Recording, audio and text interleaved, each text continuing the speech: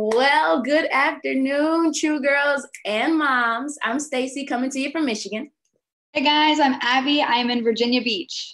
And I'm Kasey, a student at Cedarville University, coming at you from Ohio. And you guys have tuned in for the most exciting way to spend a Monday or Tuesday or a Wednesday, Thursday, or Friday too, because we are going live on our True Girl YouTube channel every weekday at noon with our True Girl electives. So those are totally free, totally fun. And if you're going to be joining us, make sure you subscribe to our YouTube channel so that you do not miss any notifications for when we're going live. It's going to be so much fun. But Kasey, tell them what we're talking about today. Oh, I would love to do that, Staci. What if I told you that today we're going to teach you a superpower. yes, you're going to learn on your very own your brand new superpower right here, right now. So this superpower is called let's um do you guys know the Batman theme song? No, I don't. Okay, I think it goes dun, dun, dun,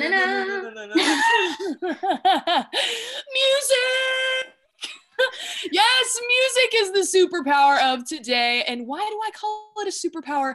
Well, because when you know music, it actually makes you way better at a lot of things. Do you know that people who study music are better at learning languages, better at memorization, better at taking tests at school, and better at just chilling out? I hmm. need that. yeah. Yep, it makes your brain way smarter, makes you less stressed out and my makes you way more fun. so, with all those skills, you're basically a superhero. In just a few minutes, we're going to spend some time studying music so we can become all together musical superheroes. cool, cool. That sounds like fun. Um, but you guys, when we go live, you got to remember we can't see you. You can see us, but we can't see you. But we want to see you, right, guys? Don't we want to yeah. see their faces? Yes. So remember to take a picture of yourself participating in our True Girl Live electives.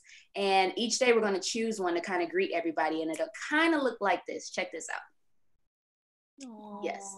So make sure that you have your mom take a picture of you hanging out with us and then have her post it on Facebook or Instagram. But make sure she tags us so that we know it's you and that we can use it and say hey to you guys. So we want to see your faces. Do not forget to do that.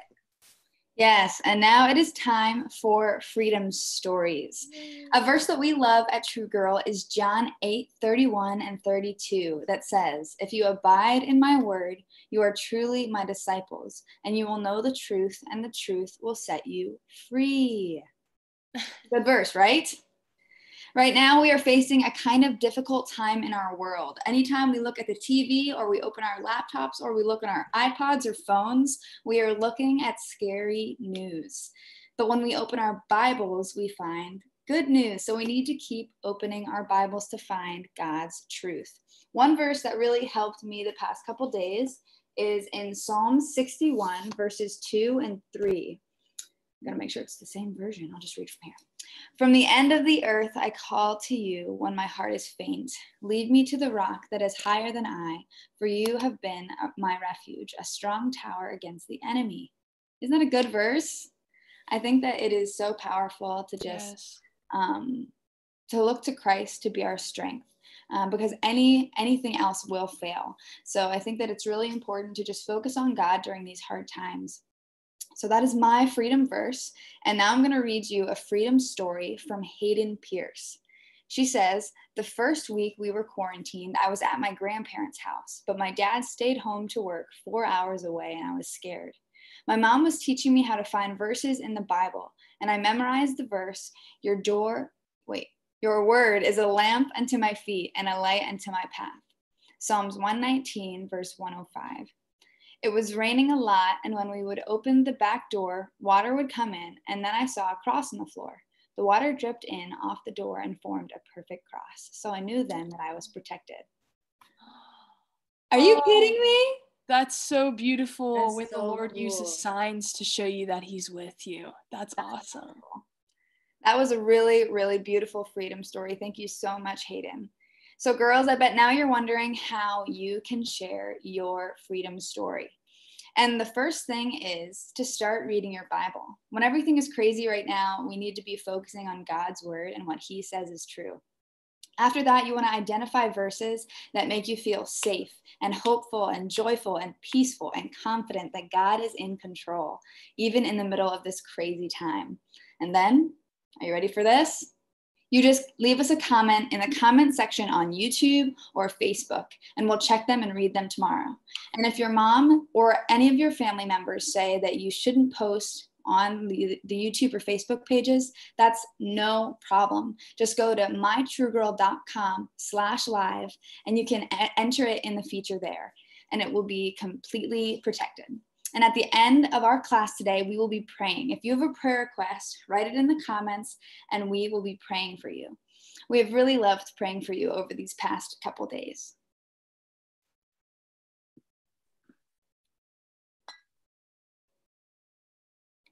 Hey guys, it's time for music class. I'm so excited, but before we dive in, I want to tell you something really cool that I started thinking about when I was probably around your age. Have you ever wondered why musical instruments are very different but can sometimes sound the same? Let me explain. Like if I play one note on the guitar, it sounds very similar on the piano. It's really crazy how God made all these instruments to sound very different, but also exactly the same, exactly on the same tone and pitch. So let me show you guys a little something over here. All right, so now I want to show you guys just exactly how this music magic works. Actually, I'm sitting at a piano right now, so let me just show you what I'm looking at. You'll notice on the piano that we have two groups of black keys and then a group of three black keys. And it goes that way as a pattern throughout the entire keyboard. So there's two, three, two, three, two, three, and so on, all the way to the tippy top. So if you look at the first note on the outside of the group of two black keys, there's the C. This is like the starting point for a lot of people. A lot of people like to just start with C because it's just very neutral. Um, but if you look all the way up here, Counting only our white keys, we have seven letters until we go back to C. So it goes C, D, E, F, G, A, B, and then back to C. And we could keep going C, D, E, F, G, but we're not going to go all the way up there because it would take a while. So if I wanted to play a chord on the piano, I would take the C, the E, and the G. Hear that? A chord is a group of three or more notes sounded together as a basis of a harmony. And a harmony is a combination of notes that have a pleasing effect. So let's say I wanted to play a C on piano. Did you know that I can also play a C on other instruments? Let me show you. All right, so if I play the C on the piano, and then I play the C on my guitar, How that's the same thing? Let's say I wanted to play a D. Isn't that so cool? The cool thing about music is you can play whatever you want to play. It'll just sound a little different on different instruments. So, something I want to teach you as for really cool vocabulary words today, we have tone and pitch. I mentioned that at the beginning of the video. Tone is what you hear in a sound and pitch is a sound you can play. The difference between tone and pitch is pitch can be perfect, tone cannot. Not only can I do it on the guitar, but I can also do it on a little baby guitar. I wonder, does anyone know what this is? This is called a ukulele. It's like a four stringed baby guitar. Guitars have six strings. So let's say I wanted to play a G on the ukulele and then I could play it on the piano. Wow, isn't that so cool? Wow, thank you guys so much for sitting in with me on this lesson. I really enjoyed it. And just to go over, if you guys want to practice this at home, it's really easy. Just remember C starts on the outside of your black keys. So right here. And if you want to play a chord, you go one, skip a finger, two, skip a finger three. That is a C chord. something that's even cooler. I can use all the chords I just played for you, C, D, and G, to sing you this.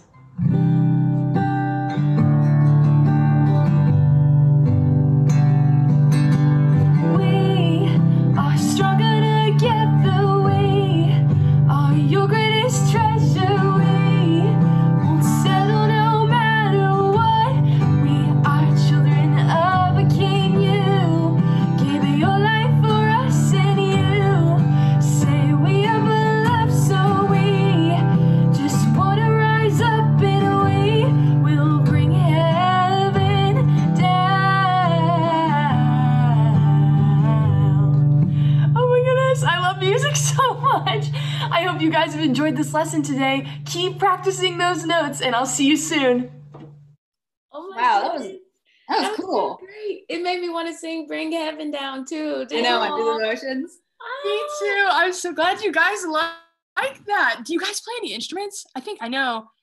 Abby, you play. Yes, I play piano. I can play a little bit of guitar. When I was younger, I played the flute and um, I tried the violin, but I was not very good at it but I really well, love sound violins. That's um, awesome. I know Staci, you play viola, right? Yeah, I started with the clarinet and I was absolutely horrible. It wasn't for me. and then uh, I was pretty bad. So then I switched to the viola and I've been playing that ever since. I'm teaching myself guitar, but I know like a little, little bit, like a few chords, but not yes. enough. Yeah. The cool thing is once you like can play one instrument it kind of becomes easier to play the others if you know the basis of all that. So man music is just so fun and so beautiful and such a gift. Thank you guys for all watching that with me today. For sure. That was awesome. Um so we're kind of switching gears into our prayer time, but I wanted to kind of give you guys a verse to connect that um, lesson that Kasey just gave us. So I know last week Dannah talked about how we use worship to like um, praise God in the good times and thank Him for the things He's done for us. She was talking about how Miriam played the tambourine when um, the Israelites crossed the Red Sea and God brought them out of Egypt, out of bondage. And that was really cool because she used that tambourine. They made a song and she praised God for the good things that He was doing for Israel. Um, but I also want to remind us to use worship to um, get us through the hard times too. And one verse that I wanted to use with you guys is First Samuel 16 23. And what was happening is Saul was, um, he was, he had a lot of anxiety, he had a lot of fear, and he was kind of being, um, tortured is such a hard word, but he kind of was being tortured by a spirit that was um, coming and just really giving him no peace and no rest. And so his um, advisors and everyone said that he should find someone that can play um, the harp over him to calm him down when those things were happening. And so he went and he found David, and David would play for Saul whenever he was feeling anxious, whenever he was feeling fearful. So I want to remind us that we use worship. Oh, I want to say this too. Okay, worship is not just songs at church. It's not just mm-hmm. songs, period. Worship is our whole life, it's everything. We can worship God no matter what we're doing. So I want to remind us of that too. But um, as far as music goes, we should be using worship in the good times to praise God and in the hard times to get us through. So I want to remind you girls that um, when you're feeling anxious, when you're feeling fearful, when you're feeling unsure, find songs and sit in them and rest in them, songs that talk about God's peace and his love and his truth. So that's something I really want you girls to do. Something that I'm doing. Have you guys been doing that a lot with worship songs? Definitely. Uh, yeah. Staci, thank you for reminding us that worship is more than a song. I feel like yeah. so many times you take we like all take the word worship and we're just like you have to be worshiping him in music, but you can worship him through like your activities like sports you do you can worship him through how like how you love people and your family that's so true thank you for reminding us of that oh for sure it's a good thing um, and then also we wanted to go ahead and have some prayer time. So send us your request if you haven't already, but we do have a few of them in. In, let me see. Um, Catherine wants us to pray for a six-year-old boy that has cancer and had a leg amputated recently. Oh, that's really hard. We'll definitely pray. Um, Haley has a praise. She said her aunt thought she had COVID 19, but she didn't. That's really great. Um, Praise God. Yeah. And then Brooklyn says, praying we have a fun day at our grandma's farm. I will pray for that. We need fun days right now, don't we? And Riley said, I would like to pray for our leaders and for God to give them wisdom. I would also like to pray for my dad to be able to come home on the right date. Definitely. Let me see if we have any more. And lots of family members may have COVID 19. Okay, yeah. So we'll definitely pray for that. Abby and Kasey, you have any in particular that you want to pray for? I don't think so. I'm just okay, just everything. Yeah. yeah, with everything going on. Just to check in, Kasey, how's your dad doing? I remember we prayed for him the other day. Uh, thank you for asking. Um, he's doing okay. My dad is now working from home. Mm-hmm. So that's always fun to have a family of six in our house. I'm sure a lot of you true girls are experiencing that right now. Um, he, we made my little brother, he's 10, we made his toy room into my dad's office. so if you walk in, you'll see my six foot five father sitting at this tiny children's desk with a bunch of stuffed animals surrounding him. Um, but he shared with my family a couple nights ago, he really has been reaching out to the Lord for peace in this season. And, and I think, of course, if we have a righteous heart and we ask God for things, um, He gives them to us. And so my dad really, really received peace from the Lord. So I think we're all just kind of in shock, but there's so much peace when we rely on on Jesus to carry us through this season. So thank you for asking. Yeah, if you want to continue to pray for him, I know he'd really appreciate it. For sure. Abby, are your grandparents doing well? I wanted to check in on yeah, that. Yeah, I texted my grandpa two days ago and he was doing fine. He's staying at home. Um, and that's good. And then my grandma, um, she's been surrounded by her community. She lives in like a, um, she lives in Florida in this community where lots of retirees go. And so she, all of those people are staying right in that community and no one's getting in. So I'm glad that she's not completely alone. Yeah. Cool, cool. Really awesome. And then I wanted to give a shout out. Kathy said, I'm going to get my prayer journal so I can write these down. so sweet. Do that. Use your prayer journals. Have you guys been using yours? Yeah. Oh, speaking oh, yeah. of, I think I actually have a verse that I'd love to share with you guys too. Go ahead, please do. Okay. So I think we have this one down. It's First Peter 1 6 through 7. And it says, In this you rejoice, though now for a little while, if necessary, you have been grieved by various trials, so that the test tested genuineness of your more precious than gold that perishes though it is tested by fire may be found to result in praise and glory and honor at the revelation of Jesus Christ. So when I was reading that verse, what it basically meant to me and what the Holy Spirit was kind of showing me through it is we are going to be going through trials and we are going to be going through tests of various kinds, but it's all just to be closer to the Lord. And it's all so that praise, glory, and honor can go to Jesus.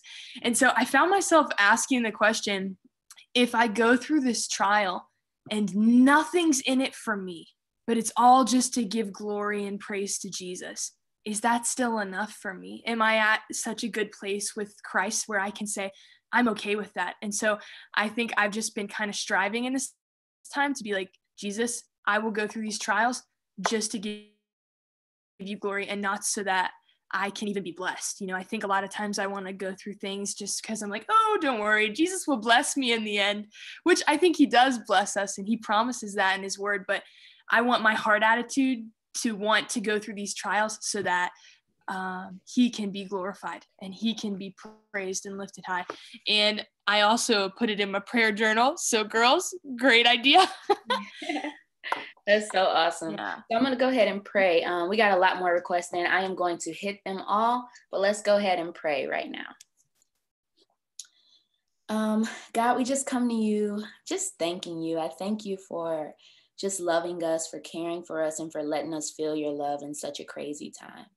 Um, I thank you for your truth that we can stand firmly on, Lord, and for the peace that you give us in that truth um, I just want to pray. I First of all, want to thank you for all these girls, for these moms that are joining us in this, Lord. It is so cool that we're connecting.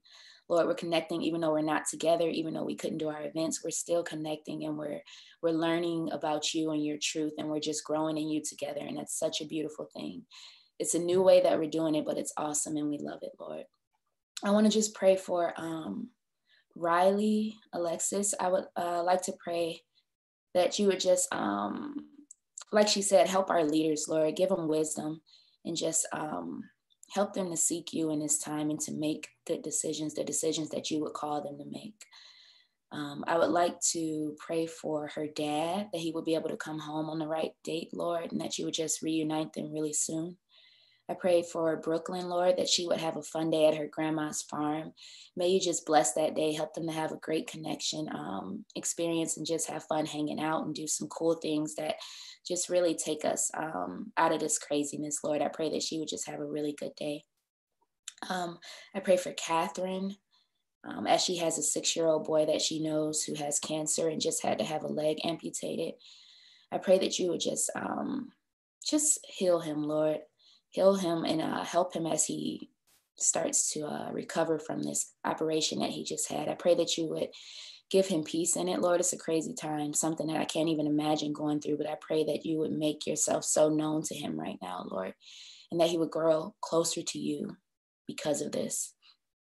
Um, I pray for Oh, we thank you, Lord, for praise for Haley's aunt who thought she had COVID 19, but she doesn't. We just thank you for protecting her, for her body, and for keeping that virus from her. Um, we pray for Amelia's Uncle Carlos.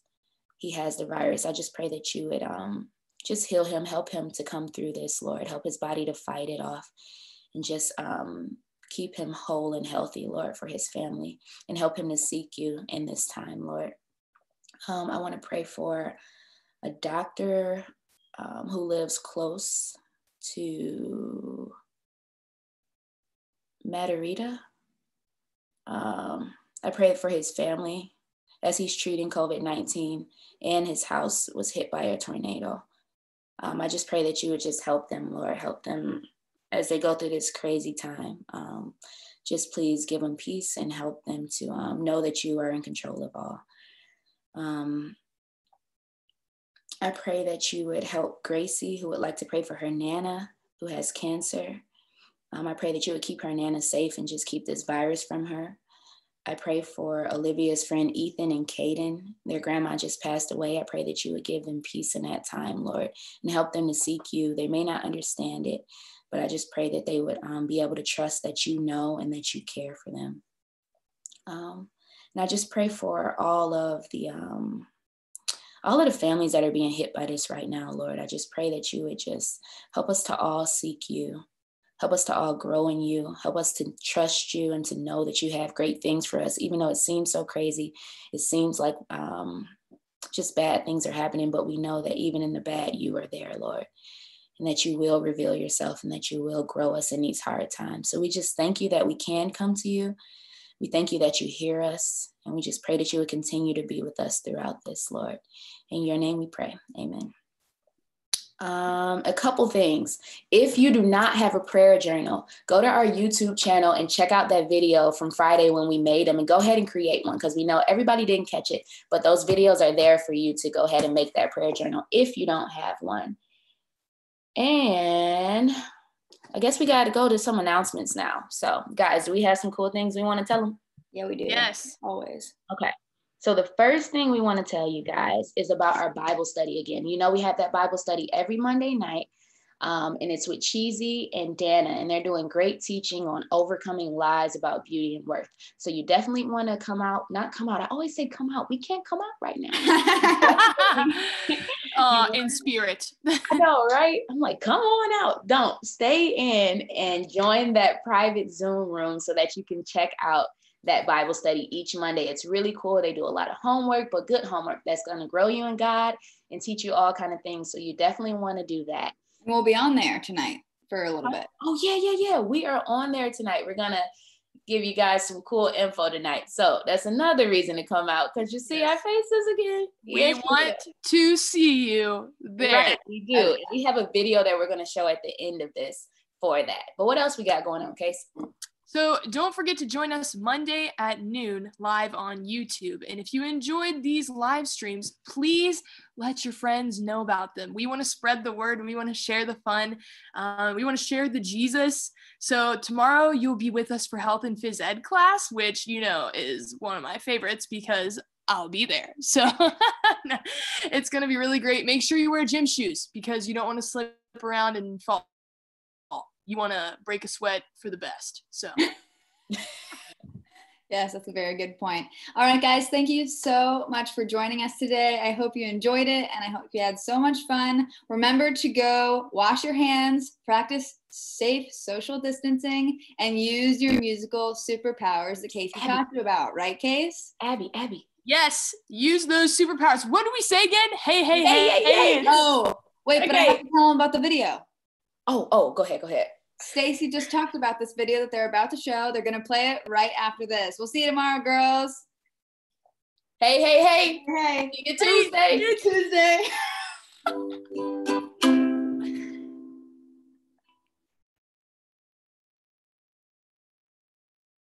the emergency room is overwhelmed.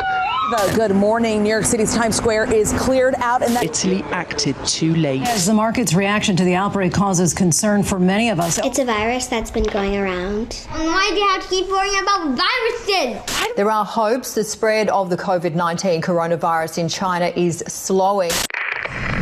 You're watching True Girl TV. Hello, True Girls. Hi.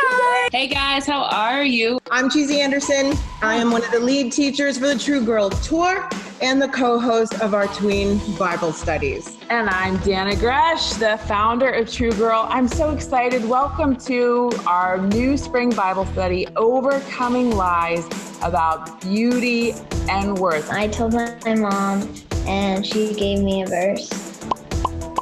Okay, you told your mom about it? That is fantastic. That's a really, really good plan when you're feeling afraid talking to your mom. 98% say, I'm totally in. Oh, what on earth is happening? There are fish in the sky kind of rainstorm. I think the storm in Luke 8 was a whopper because it says they began to take on water. What started out as a merry version of row, row, row your boat quickly turned into the theme song of the Titanic? Um, I was thinking that like they were calling the Lord and they thought he didn't care about them because he was sleeping, but actually he knew that they were going to be all right. Don't you just love the the truth that she shared? I hadn't thought of this when I was studying it, but Jesus didn't sleep because he didn't care. He slept because he knew when he needed to be awake.